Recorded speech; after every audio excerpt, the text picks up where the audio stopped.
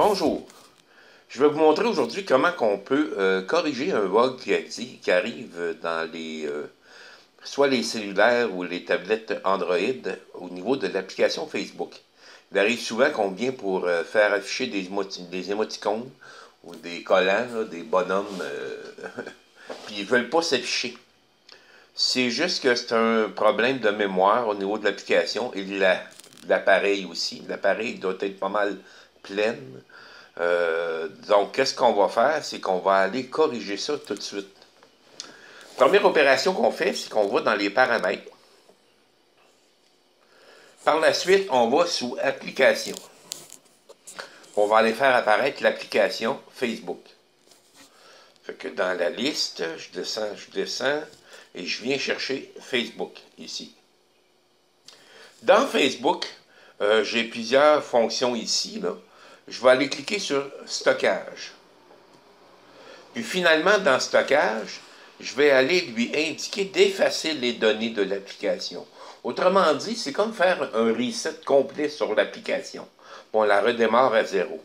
Donc, je clique sur Effacer les données et je fais Supprimer. Ça efface pas vos messages ou quoi que ce soit d'autre, ou vos images. Ça efface juste qu'est-ce qui a été euh, mis en cache dans l'appareil. Fait qu'à partir de là, je peux retourner à la page d'accueil, cliquer sur l'icône Facebook, puis finalement, euh, ça va prendre quelques secondes pour redémarrer. Et quand elle redémarre, je vais rentrer mon mot de passe ici.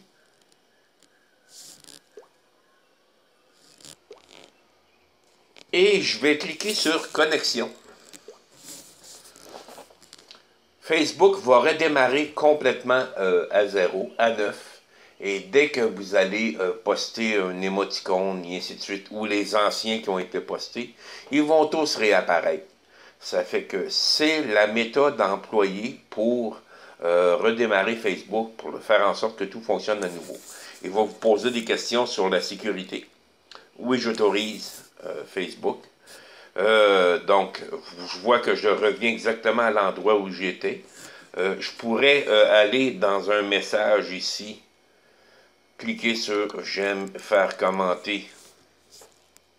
Et finalement, je viens cliquer sur, au bout, sur les émoticônes. ça, ce sont ceux que j'ai d'installer. donc, je peux choisir n'importe quel dans la liste. Et les activer. Automatiquement, ils sont affichés maintenant dans l'application. J'espère que cette petite vidéo vous aidera à corriger les petits bobos que les applications peuvent avoir. Merci, puis bonne fin de journée.